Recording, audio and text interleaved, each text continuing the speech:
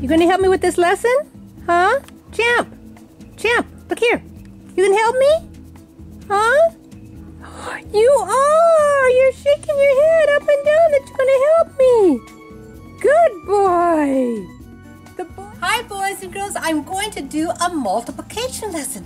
I'm going to teach you how to multiply numbers. And I'm going to be using these yummy fruits and vegetables. Like we have over here, red onions, garlic, cucumbers, tomatoes, avocados, apples, zucchini, bell peppers, yams, uh, red spuds, and this is a Brussels sprout stalk. Look at this, boys and girls. How many rows do we have? Remember, we start here at the left. Okay, let's count the rows. Here's one row, and here's our second row. So how many rows do we have? One, two.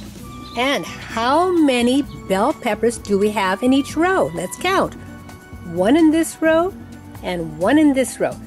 Two rows times one equals how many?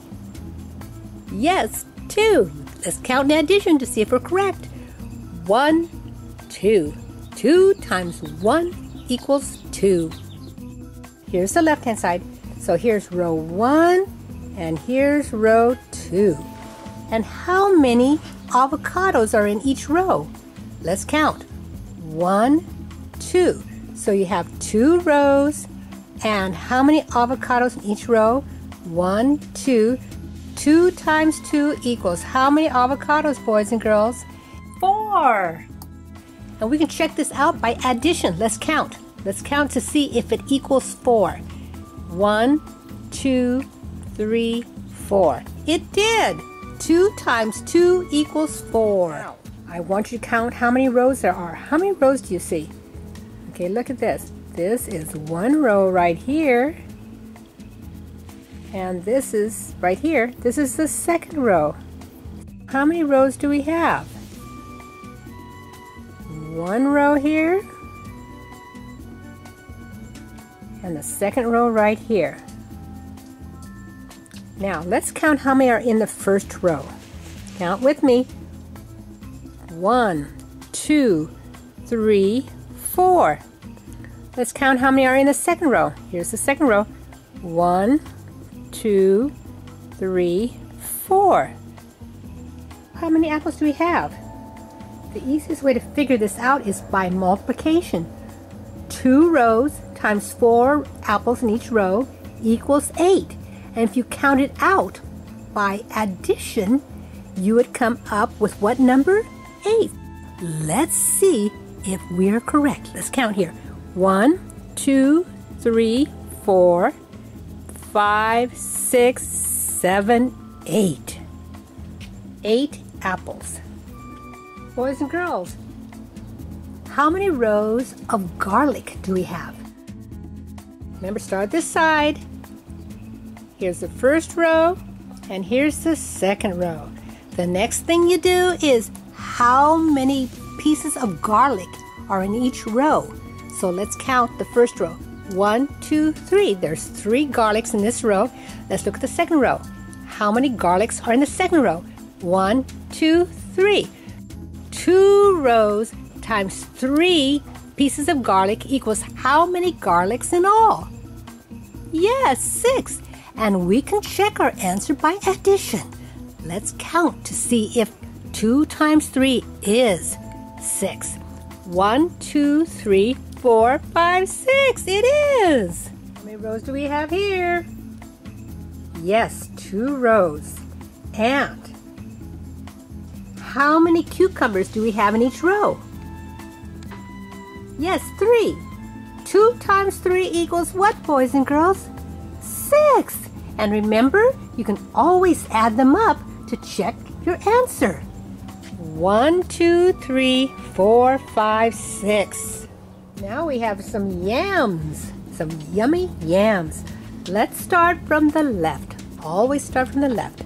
We're going to count how many rows. One row, two rows. Now let's count how many yams are in each row. We're going to count how many yams are in each row. One, two, three, four yams in the first row. One, two, three, four yams in the second row.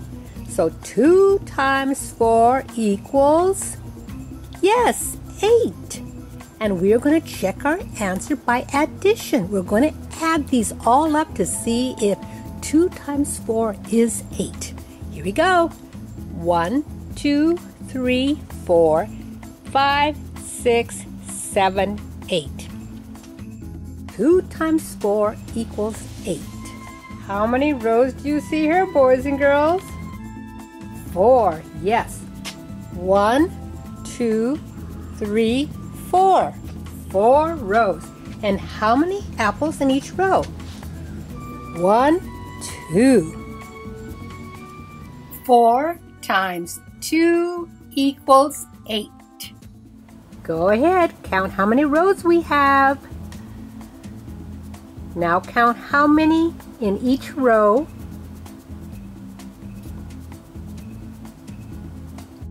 two rows and five cabbages in each row. Two times five equals how many? Ten. Let's take a closer look at these Brussels sprouts. See how it looks like a little tiny cabbage? These are good for you to eat, boys and girls.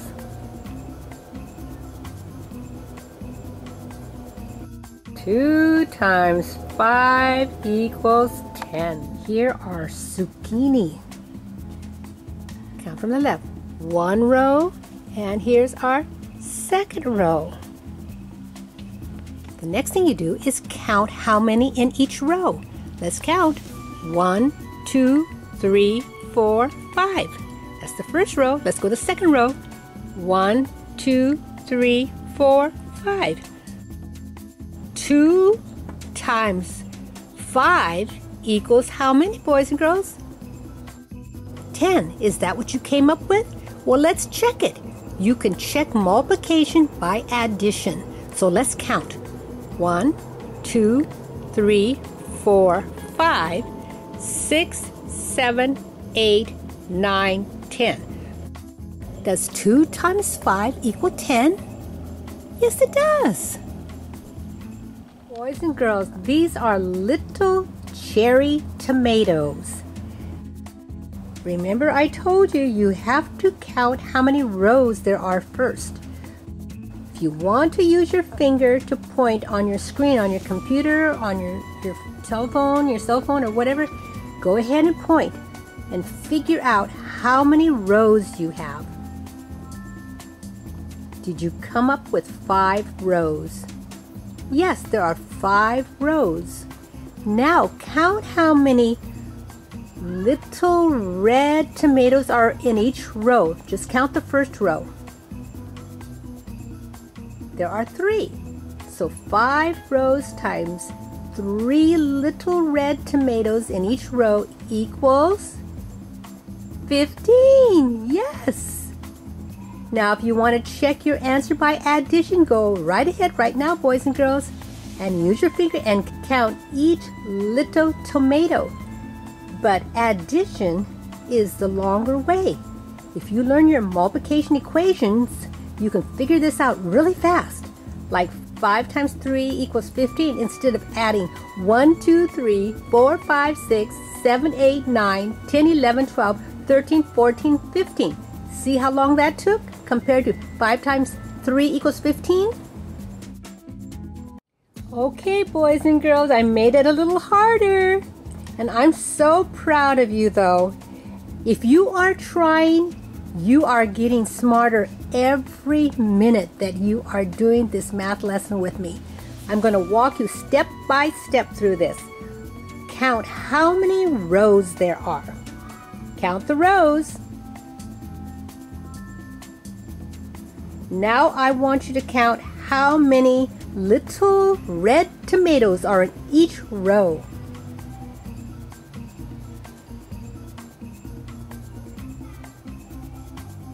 So let me ask, ask you those questions again. How many rows are there? Did you count five? Yes. Good. How many tomatoes did you count in each row? Did you count four? Good, four, yes.